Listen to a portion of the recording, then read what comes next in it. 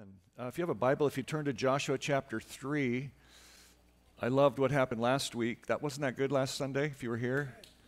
Paul did an amazing job, and um, there was a lot of ministry team available, and a lot of people came forward and got prayer. And um, something's afoot, if you're not aware of it. Something is afoot right now. And uh, we've been talking about this idea of sowing. I felt like the Lord really spoke to me that it's a theme for the entire year that we're going to sow. And the verse that we're after is, uh, I think it's Amos 9 14.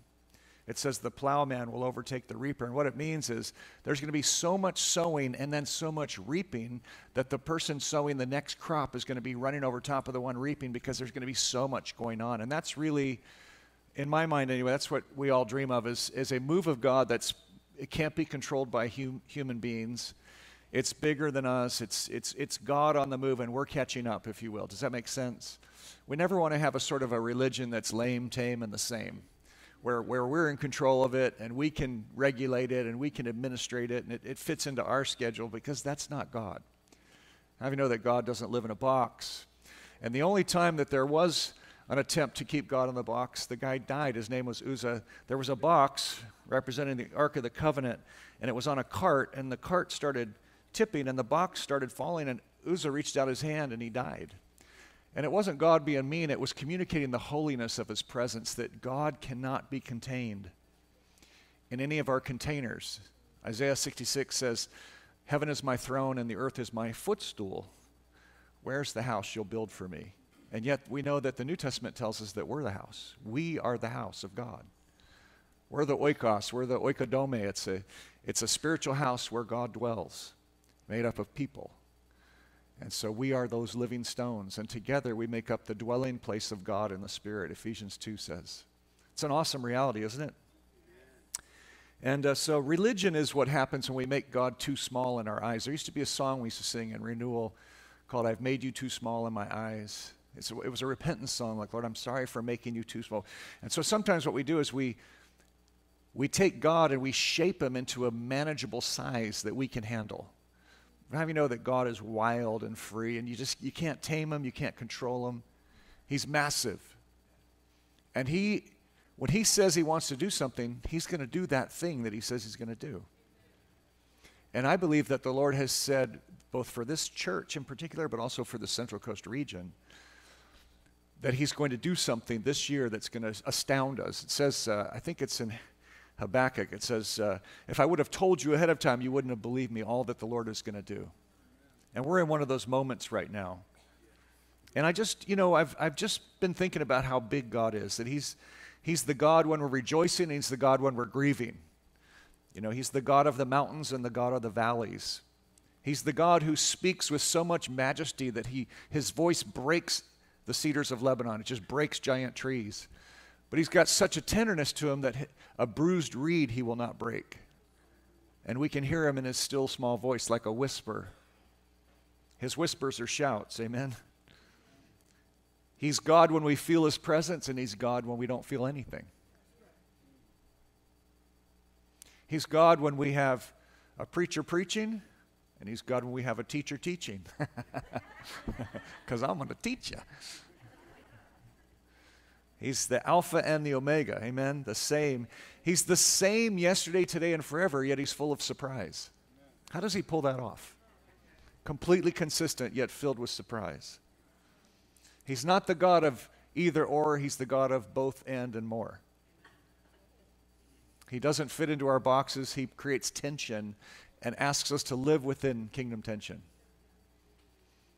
And so we're coming into this season where we're very hungry for God encounters. And it's not just an encounter as in an experience. Isolated experiences are okay. What we're, what we're asking God for is that this place, this people would be a dwelling place of God. Now, theologically, this is a dwelling place of God. But experientially, He wants to do way more. He wants us to experience the reality and the weight of His manifest presence to such an extent that we are undone and in our weakness, He's made strong.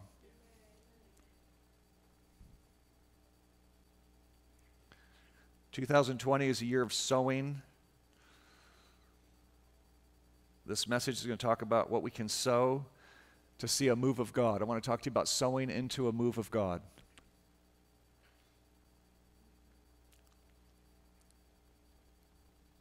When God begins to move, we can, we can be passive, we can agree with it, or we can sow into it so that it goes bigger and faster. Does that make sense? We can agree with what God is doing.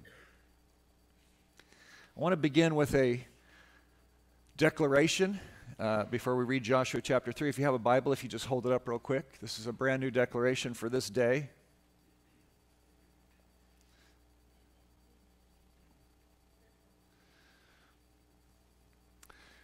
Let's say this together. Our Father, we say yes to a fresh supernatural move of your Spirit. Let your kingdom come and your will be done on earth as in heaven. We ask you to move in each of us individually and together as a family until we are undone by your manifest presence and glory. We ask you to encounter us as we draw near to you through your word and by your spirit. In Jesus' name, amen.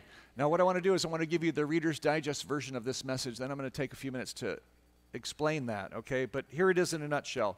We prepare for a move of God by being happy, holy, and hungry.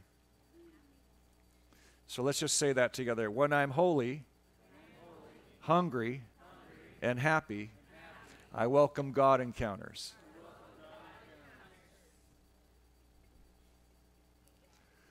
So we're going to read in Joshua chapter 3. I just want to sort of set up the context of Joshua 3.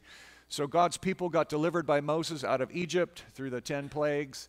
They came to uh, a place where they crossed the Red Sea supernaturally. The Egyptians were drowned, and they were and they sent in spies to the land of Canaan. This is the land that God promised Abraham and said, "This everywhere you look, it's going to be yours."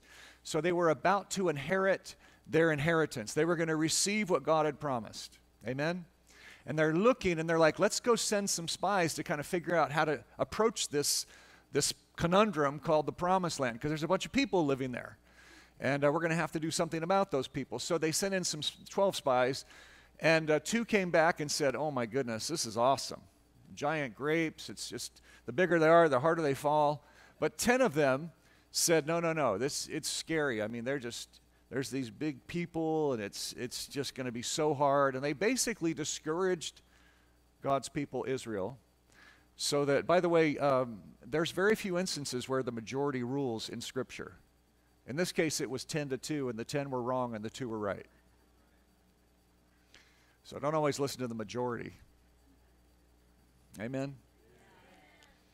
But there were two, Joshua and Caleb, that said yes. And so Joshua and Caleb, the Lord made them a promise, and He said, Hey, uh, this whole generation is going to, I'm going to I'm going to lovingly let them sort of die out in the wilderness. It's not like God killed them. He took care of them, He gave them food, their clothes didn't wear out, their shoes didn't wear out for 40 years. But over a 40 year period, that generation of unbelief died. And their kids were raised up, and their kids heard the stories of the miracles, and they heard the stories of why they didn't get in the promised land, and they were ready to go. And so Moses died, and God raises up Joshua and says, I want you to lead them into the promised land and what's happening is they're about to go in the promised land. They're about to cross the Jordan, and the Jordan is going to open up just like the Red Sea. So the, the Red Sea parted, the waters parted. Some of you have seen the old Ten Commandments movie, and uh, or you've been to Universal Studios, so you know what it looks like, you know. The waters parted, but same thing happened in, in the Jordan River. And uh, the, Lord's, the Lord came upon Joshua in the same way that he was upon Moses, and the people were, understood that this was their leader, and they, they went forward and they started conquering during that time, so in that right before that moment, they're about to go into the promised land. This, these first five verses of Joshua chapter 3 are so instructive. I just want to read them with you, okay? Verse 1 Joshua got up early to lead Israel from Shittim, that's not a cuss word, that's actually the name of the town, to the Jordan River. They camped for a few nights before crossing the Jordan. After three days, the officers of Israel walked through the camp and instructed the people by saying, When you see the Levitical priests carrying the ark of the covenant of the Lord your God, pack up your belongings and follow the ark. Make sure there is a thousand yards between you and the ark. Don't get too close because you've never gone this way before and you'll only know the way as the ark of my presence leads you. How many of you know that that is an eternal principle? That when God's about to do something new, the only assurance you have is His presence. His presence actually lead can what's true then can be true today. How many of you know that God's presence can lead this congregation? Have you know that Jesus is the head of the church? It's not my church. Oh, God forbid any pastor that thinks that he or she owns the church. What a ridiculous thought. This is God's church. The Holy Spirit's the administrator of the church. The Father's over the church. And we are stewards of his house. Amen? And he is leading us. And he leads us by his presence. The ark of his presence was what led those people then, and it's what leads us now. Sometimes people say, hey, you don't have this program. Why don't you do this program? I'm like, well, we're waiting for God to lead us. I'm like, that's a dumb reason. I'm like, no, it's not. We want God to lead us. We don't want to just come up with good ideas and then create more work for ourselves. We want the Lord to lead us. Amen? So, um, Make sure there's a thousand yards between you and the ark. Don't get too close because you've never gone this way before, and you'll only know the way as the ark of my presence leads you. Verse 5. After these instructions, this is what Joshua said. This is what I want to kind of camp out on for a minute. Consecrate yourselves because tomorrow the Lord is going to do wonders among you. That word tomorrow could be literally tomorrow as it was then, or it could be tomorrow. It could be coming up soon. Have you know a day of the Lord is like a thousand years? So tomorrow prophetically can, you know, it can be some period of time. But that word is true. Consecrate ourselves because tomorrow, coming up soon, God's going to do wonders among us. Something wonderful is about to happen, and we can prepare for that. So, the first thing I want to say to you, and by the way, we talked about being holy, hungry, and happy. So, I'm going to talk about each of those. Number one, being holy means preparation. Okay? Being holy means preparation. That word consecrate in the, in the Hebrew, if you look it up, actually in, in one place in Jeremiah, it actually is translated preparation. It means per, to prepare. To consecrate yourself is to prepare yourself. God's people were about to enter a new era of life called the Promised Land. Everything was going to change. They'd been in the era of the desert. Before that, they were in the era of oppression in, Israel, in Egypt then the desert. Now they're in a new era. They're about to come into a whole new experience in their lives called the promised land, the land flowing with milk and honey. Now, how do you know that when God gives you the promise, sometimes you have to fight for it? So the same thing, the two truths are in the same time. You, you get the promise, but you fight for the thing that God's giving you. It's exactly what happened to the children of Israel. It happens today. So before revival happens, whatever revival means to you, God wants to restore reverence to his people holiness is like it's like reverence before God. It's realizing that he is uniquely holy and we want to become like him. The word kadash, consecrate, means to prepare. So what are we preparing to do? We're preparing to seek the Lord. There's a fascinating story in the Old Testament. It's about King Asa, A S A. Uh, he was a king over Judah and the tribe of Benjamin. And uh, he had a very interesting history, but he was one of the kings that really went after the Lord for almost his entire life. He, he messed up towards the end. He got a, a, a disease in his feet. He forgot to seek the Lord. He sought physicians. Not that physicians are wrong, but he was supposed to seek the Lord. And, uh, but anyway, he did really well. He was a good king. He, was, he loved God. And I want to just read you at a, at, at a key point in his life a prophet came to King Asa and had a word for him. I want to just read it to you because I think it's instructive for us. God's Spirit came upon Azariah, who found King Asa and said to him publicly, Listen, King Asa, and all of Judah and Benjamin too. The Lord is with you when you are with him. If you seek him, you will find him. But if you turn away, he will turn away from you. For a long time, Israel was without the true God and without leaders to teach the law. But in their distress, they turned to God and sought him, and he was found by them. Now, this prophet goes on. There's a little bit more to the word, but I just want to give you Asa's response. Verse 8. When Asa heard this prophetic word, he found fresh courage to remove idols and to repair the altar of the Lord. He gathered God's people in Jerusalem. Together they sacrificed thousands of cows, sheep, and goats. They entered into a covenant to seek the Lord of their forefathers with all their heart and soul. Those who refused to seek the Lord were put to death. Now that's we're not that's not instructive for us. We're not going to kill anyone here. They took an oath and began to eagerly seek God, and soon enough God was found by them, and they enjoyed peace in every direction. So what did did you catch the two things that they did? One had to do with idols, one had to do with an altar. One was negative, one was positive. One was getting rid of, one was restoring. They removed the idols from their lives and they repaired the altar of the Lord. What is the altar of the Lord? It refers to your devotional life. It's the place where you go to have your altar with God or with your family and God. It's that thing that you do. It's that whether it's a physical place in your house or not. My altar used to be when I lived in Akron, Ohio, where we planted a church. My altar was a, was a forest. I used to drive down to this Sandusky forest and I would walk these paths for hours. It was my it was my altar. I invested a lot of hours. When I lived in Shell Beach before Dinosaur Caves Park was there, it was just a field. That was one of my altars when I was teaching in Guadalupe. As a school teacher, I'd come home from school and I'd walk that field for hours into the night sometimes. There wasn't anything going on. Everybody needs, an, needs to have an altar. It's not just a physical location, it's, it's that habit of being with your God. It's what it's, it's, it's a vehicle that allows you to build intimacy with the Lord. Now, a lot of people are like, no, no, I always have time with God. Well, that's like saying, I always love my spouse, but I never go on dates with her or with him. It's like, of course you always love them, but you need to show it sometimes. You need to do something special. That's what a, that's what a devotional life is. It's, it's going on dates with God. It's not just, yeah, I love God as I'm driving. I, of course you do. But what about special times? What about those times where you just, you put away all distractions and you spend time with Him? And to do that, see, we need to remove the idols.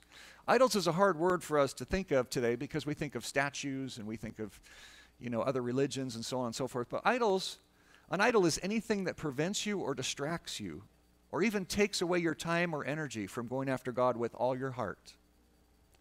So, did you hear that?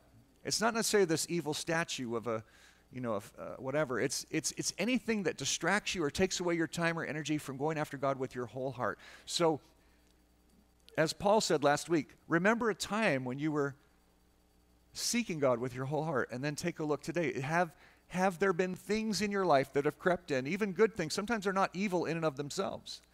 It could be a particular, uh, you know, video game or a, or a TV show, and not that it's evil of itself, but it's taking away your affections and it's, it's pouring water on your fire. And so it's, it, and we declare war on it not to be religious and say, oh, this show is evil. We declare war on it because we say, you know what, when I watch that show, I forget about God. When I watch that show, I check out of my spiritual life. There's never a time where we're meant to check out. Some people like, you know, we can drink alcohol as Christians. Maybe so. But the Bible says, don't be drunk with wine, which is excess. In other words, there's a point where you start getting influenced by the alcohol and not the Holy Spirit, and that point is wrong. So it's one thing to have a drink or two, that's fine, unless, you unless you can't, in which case you shouldn't. And you shouldn't stumble those who can't. But what's more important is are we under the leadership and control of Holy Spirit at all times?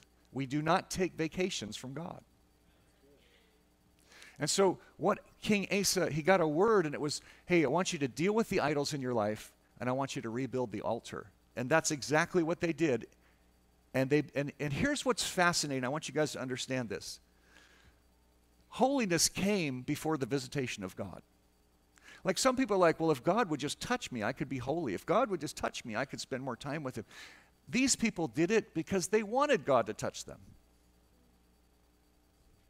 Sometimes we, we devalue the power of our own will to such an extent that we become victims, we become helpless. But the reality is, is that you're, you are the only ones on the earth that have an empowered will. You actually can choose. You can choose. Holiness means preparation. Preparation means getting rid of, clearing the way. Remember? Prepare a highway, it said. You know, level the ground. Prepare a way for the Lord to come. Get rid of all the rocks and the things that will stumble you. And build up a highway. the first thing we, we do to prepare for a move of God is to be holy. Have you know the Bible says, Be holy, for I am holy? Have you know the Bible says that without holiness, no one will see the Lord? Holiness is not some antiquated religion thing that keeps people oppressed. It's actually, in the scriptures, it's called the beauty of holiness.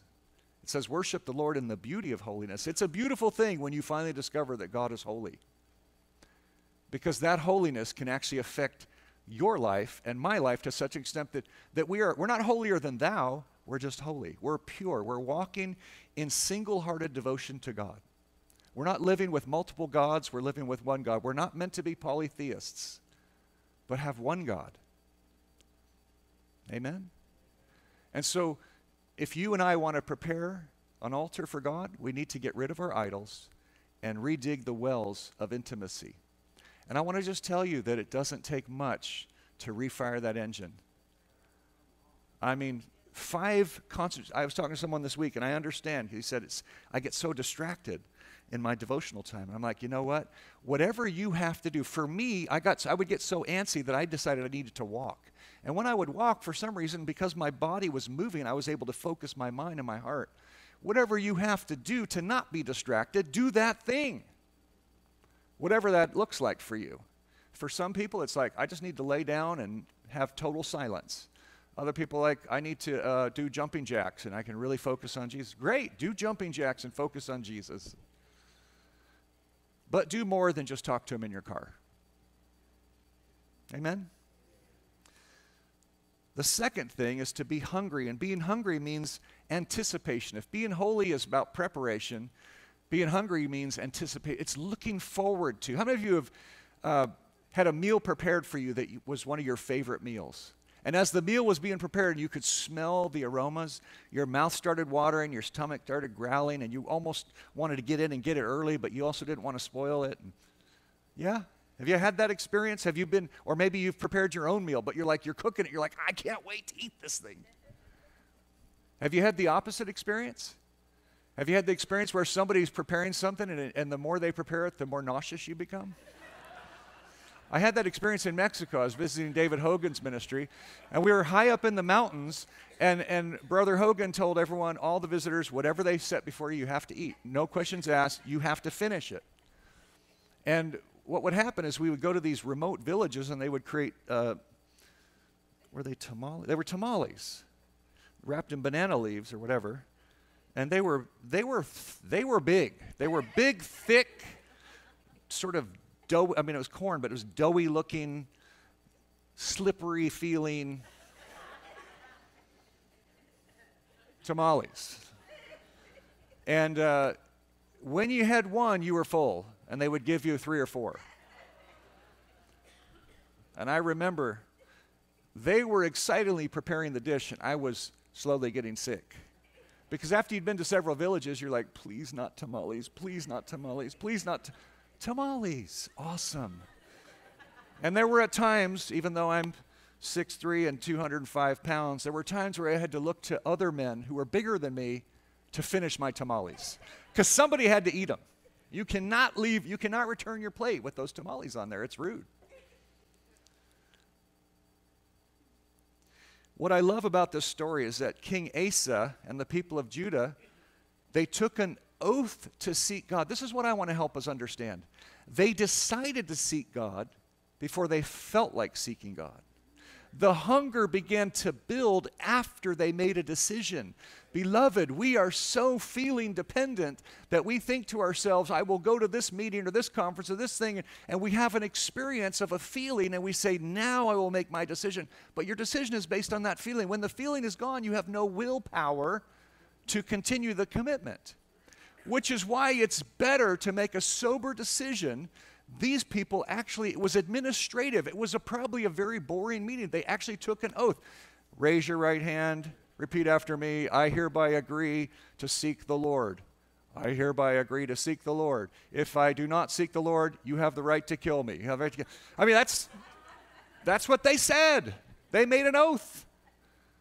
They decided, they made a decision, and then God came. Does that make sense? We often do the opposite. We're like doubting Thomas. well, if I touch his hands and I touch his feet and I see the holes, then I'll believe. Do you remember what Jesus said? He said, You believe because you've seen. How much more blessed are those who believe and then see? And I'm telling you, when it comes to moves of God, we can prepare before those moves happen and align ourselves with what He's about to do. Does this make sense? So being hungry means anticipation. It's, it's looking forward. I love what David said in Psalm 27. By the way, anticipation is grounded in the goodness of God. It's very hard to have anticipation if you don't believe God is good.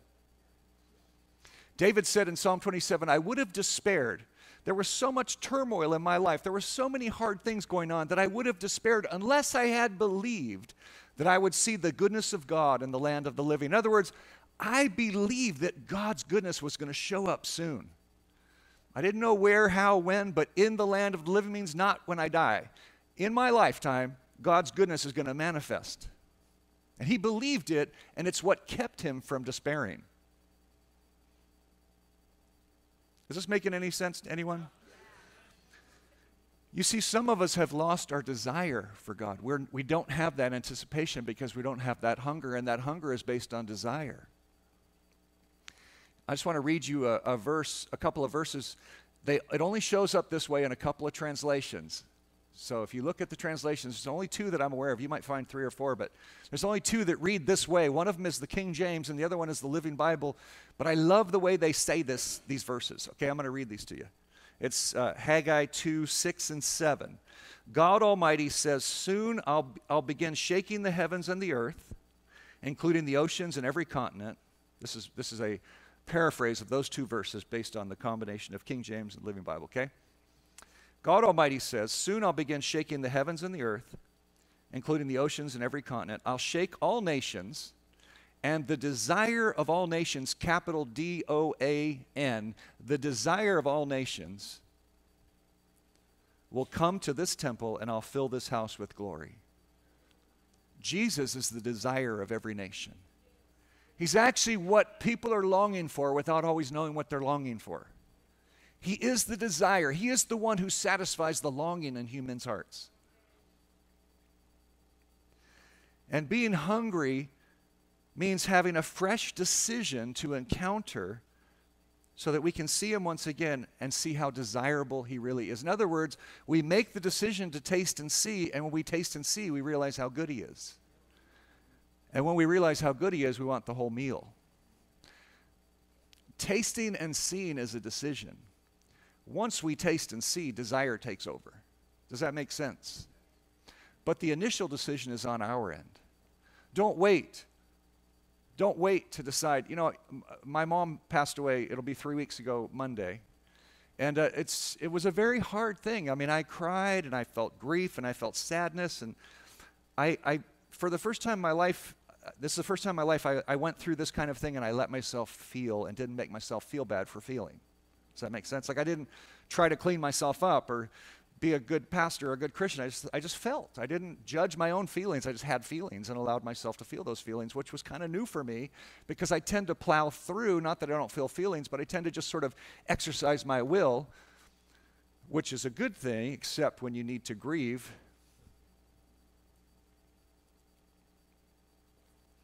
But the, but the Lord was so good, even when my mom passed away, he spoke to me the same day. And he began to, he began to wrap that event into a prophetic lens. And I haven't been able to I haven't been able to be as down about the event since he spoke to me those words that came without emotion. Does that make sense? In other words, you don't need emotion to get revelation. You don't need emotion to make a godly decision. You don't need emotion to do the right thing. You can just decide to do the right thing and the emotions will follow. I'm not saying live a life without emotion. I'm saying live a life where you exercise your God given will and you prepare for the move of God. You and I can sow right into what God's doing right now. We can repair the altar, we can remove the idols. We can anticipate Jesus as we taste and see and we begin to build, rebuild our hunger. What's another way to rebuild authentic hunger? It's to get rid of junk food, right? Which could be related to the idols. It's getting rid of those things that we put into our bellies that actually take away our desire for the real thing. I can't tell you how many times I've I've been looking forward to a meal, but I got so hungry that I crammed some sort of snack food or a soda in my belly, and by the time the meal came, I wasn't hungry. I missed out on that good meal because I put junk food in my body, and that took away my desire and my hunger. The same thing is true spiritually. Sometimes we just need to say no to the smaller, lesser things so we can enjoy the big, good thing. And it means stewarding our hunger, learning to be hungry and be okay with it. It's okay to be hungry because the Bible says, I'll fill the hungry with good things. You guys tracking with me right now? I got one more point to make. Being happy means celebration. So I want to just say to you that if, if, if we're gonna, if we're gonna cooperate with the move of God, if we're going to sow into a move of God, we need to be holy, hungry, and happy. I know you say, well, happy, why do you have to be happy? Well, you don't have to be happy. You can be miserable if you want. But there's an invitation in God to be happy. And what, what I mean by happy isn't just la di da da da. I mean, you are experiencing the joy of God. In other words, you're resonating and marinating in the promises of God before they happen. You're choosing to celebrate what is coming as though it already is.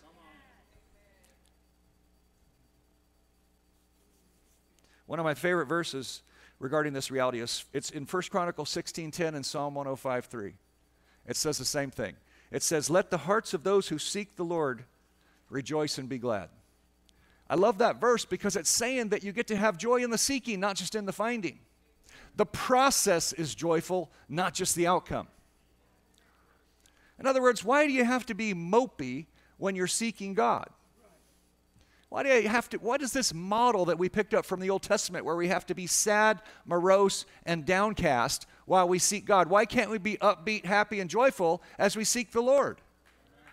I'm asking an honest question. There is a paradigm shift that has to happen in the church where we can actually live in the realm of faith that releases joy until we get Him, which releases a hundred million times more joy. There's joy in the seeking, but there's joy in the finding.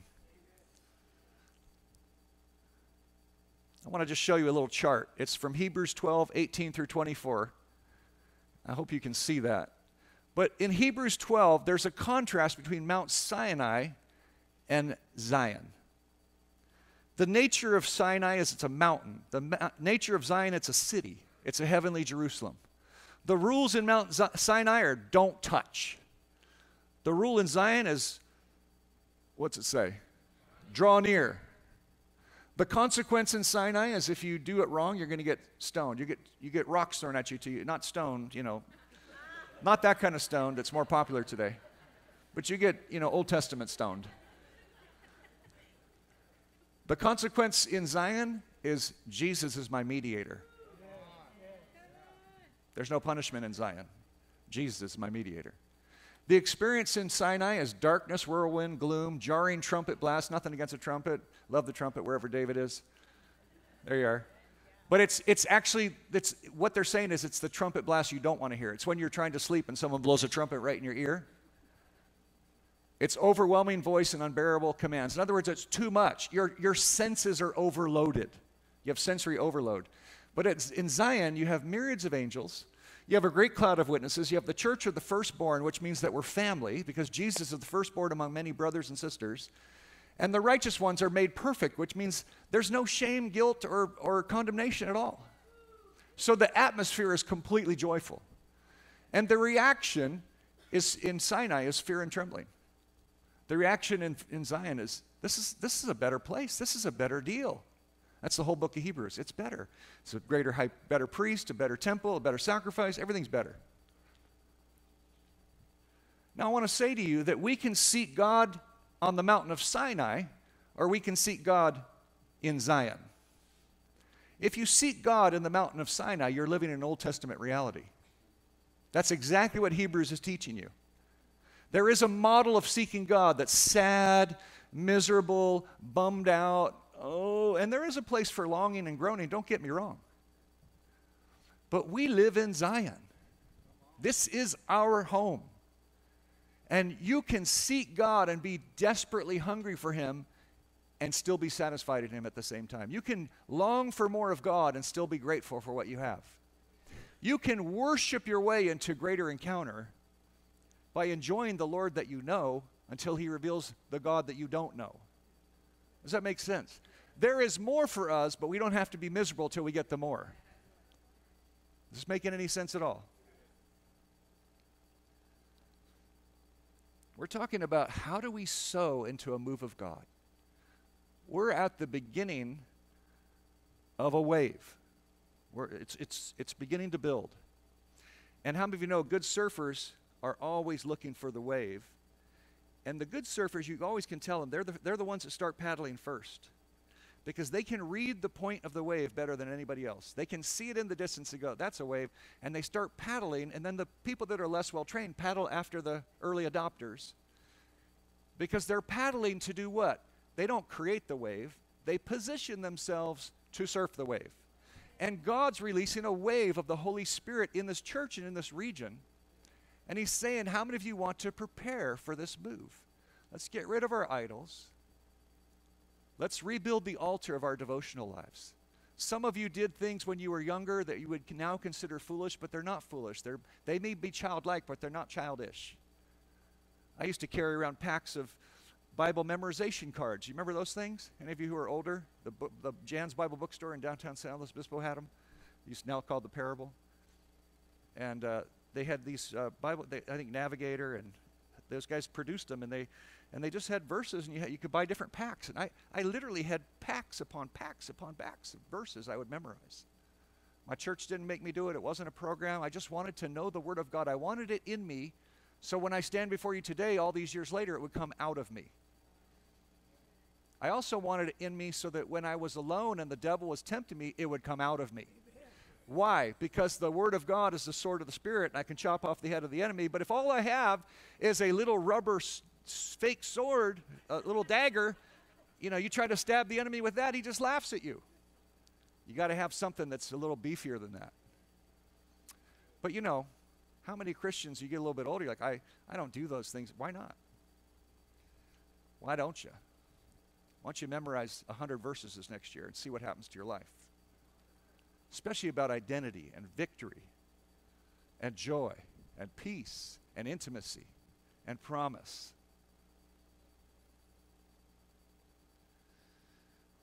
I'm going to invite you to respond to the Lord right now, and I just want to sort of clarify what I'm trying to say. The main idea is this do you want to sow into this move of God, or do you want to watch other people surf this wave? It's cool to be a spectator unless you're supposed to be a participant.